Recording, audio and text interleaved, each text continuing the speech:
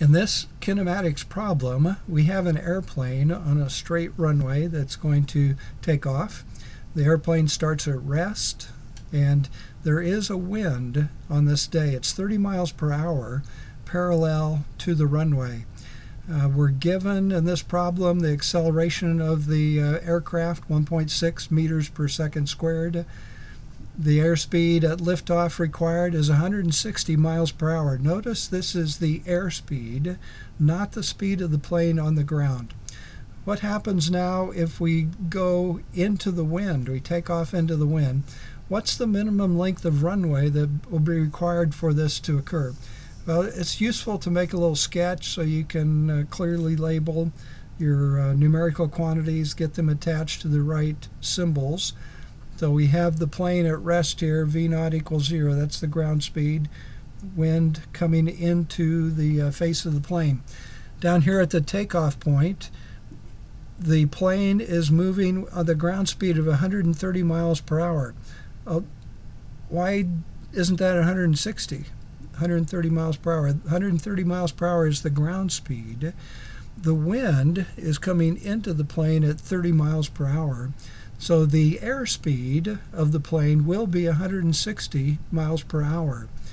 So our uh, task here is to uh, do a little calculation, a little misspelling of ground, or a little clarity in the letters here.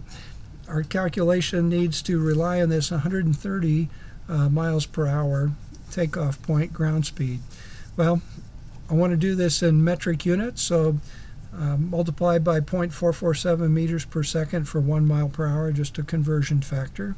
The units of miles per hour cancel, and we have a ground speed at takeoff of 58.1 meters per second. I'll make use of a kinematic equation because we're told the acceleration is constant. We have uniform, constant acceleration. We have the capability of using this kinematic equation where the final velocity after the distance x is uh, of motion has taken place, this final velocity equals initial velocity, final velocity squared equals initial velocity squared plus 2 times the acceleration times this distance traveled. So insert the numbers here, 58.1 meters per second, make sure to square it.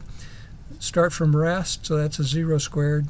2, we're given 1.6 meters per second squared for the acceleration. And if you square the 58.1, try this on your own calculator, kind of double check my work here. 2 times 1.6 is a factor of 3.2. Divide both sides by 3.2, we find x is 1,055 meters. And to convert that into miles, if you're interested, then uh, 1 mile divided by 1609 is the conversion factor. And I come up with 0.656 miles, about 7 tenths of a mile. What if the plane is in the other direction? I probably should have uh, redrawn this with the plane traveling to the left. I just thought of that now. But mentally shift yourself around here. Maybe it's a different day with a 30 mile per hour wind blowing to the right instead of to the left. Um, but use your imagination and uh, bear with my drawing here. Uh, but now we're uh, in the situation where we're moving with the wind as we take off. Well, what changes? What changes is that the ground speed now needs to be 190 miles per hour in order to achieve an airspeed of 160 miles per hour. This plane moving 190 miles per hour to the right is going with the wind, so it's only moving 160 miles per hour faster than the wind. Let's see what effect that has on our calculation. So again, I want to use meters per second for the speed, so convert the miles per hour of our takeoff speed, 84.9 meters per second. Again, constant acceleration, so we make use of the kinematic equation. Final velocity squared equals initial velocity squared plus 2 times the acceleration times the distance. And insert the numbers. You should do this on your own calculator. Perhaps pause here. Your calculator hopefully will show 2,254 meters, rounding off a little bit. Converting to miles again.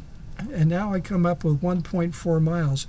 Compare this to the other case about 7 tenths of a mile if we're going into the wind, 1.4 miles required of pavement if we're going with the wind, uh, double the length. And this uh, bigger effect happens because of the square here on the velocity. Um, that's how this uh, the numbers are getting so much bigger here for this uh, uh, second case of taking off in the same direction as the wind. This assumes the wind is perfectly parallel to the runway, uh, not at an angle, not a crosswind. So it is a special case, but uh, hopefully an illustrative example. If you want some more example problems worked out for physics or for astronomy, these are the websites, totally free, no registration required at the website. You'll see a list of videos. Uh, there's over 500 now for physics and astronomy, and some are general interest videos for the public in the astronomy uh, collection. But there's a description of the video, how long it is, and a direct link to uh, the YouTube uh, video.